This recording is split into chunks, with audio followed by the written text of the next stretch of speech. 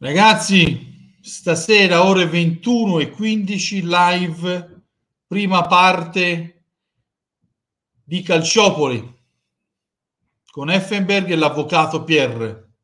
Mi raccomando, vi aspetto non numerosi, di più.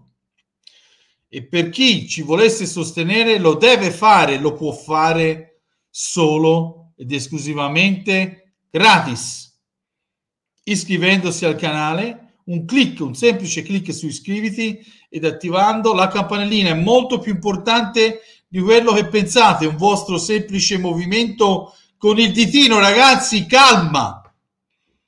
Calma. Capisco la rabbia, capisco la voglia di rivalsa, ma dobbiamo essere lucidi.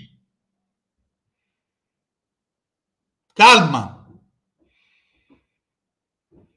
E così va bene, ok? Lo sfotò, non oltrepassiamo mai il limite, ci sta lo sfotò, su quello lì che oh, stamattina ho detto si asciuga i capelli o i cartoni della pizza, siete scoppiati tutti a ridere, ma va bene così, ci sta. Lo sfotò, come quando si pettina con la coppale oppure si pettina con la resina, va bene tutto, l'importante è non fare come loro, l'importante è non scendere al loro livello, perché da quello che mi hanno scritto sono partite le denunce.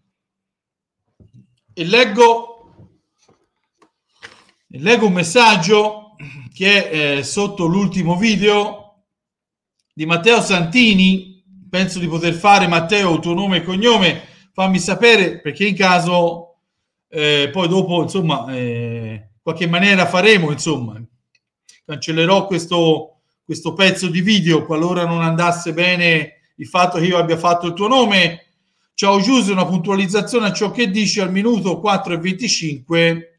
L'avvocato Pier, che è spesso con te in live, ti confermerà, i reati non sono solo penali, ma gli altri reati sono illeciti, illeciti amministrativo. Certo, eh, l- l'ho detto più volte, Matteo, è finita Tarallucci e Vino con la giustizia sportiva, ma ora c'è un processo penale per la Juventus da affrontare.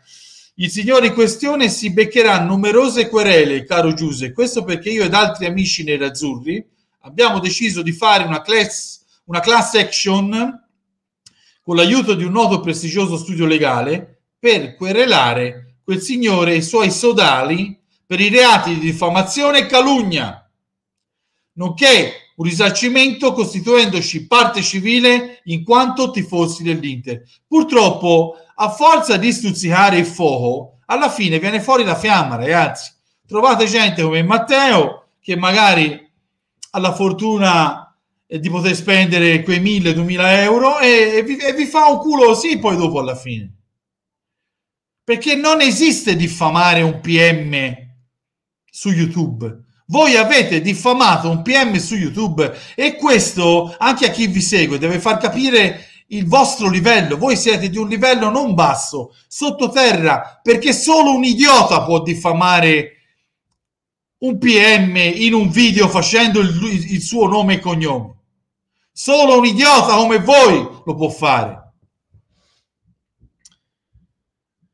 Alla fine si troveranno, ovvero a fare eh, nessuna pietà per certa gente, persone che diffondono solamente odio e il loro livore. Tutto il contrario di quello dovrebbe essere lo sport. Sono d'accordo con te, Matteo. Sono d'accordo, ripeto, spero non ci sia problema eh, per il fatto che abbia letto il tuo messaggio.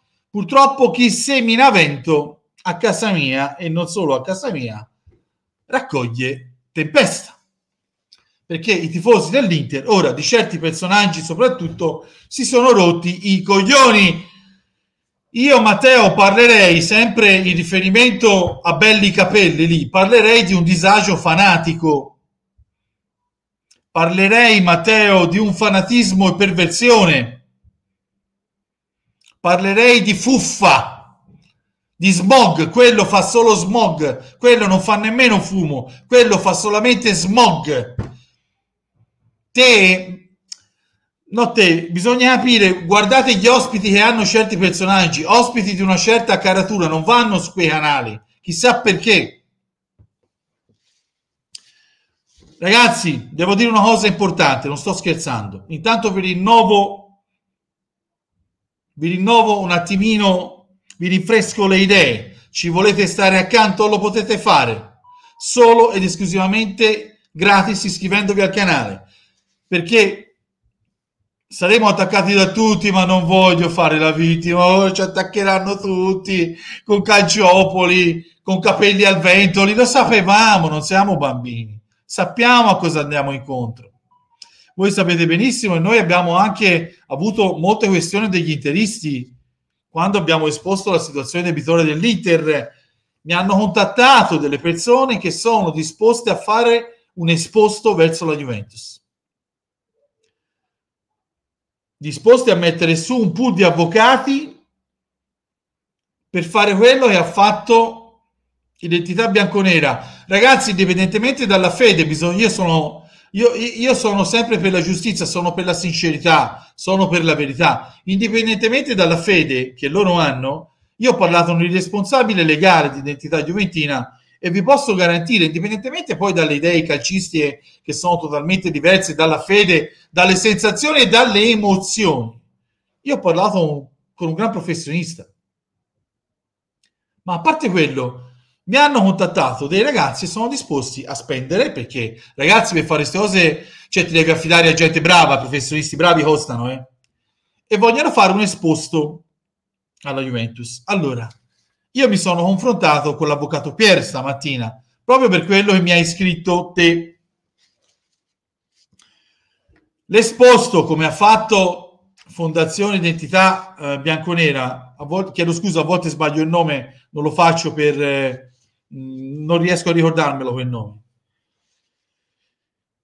Allora, le, allora, impostato in forma di esposto,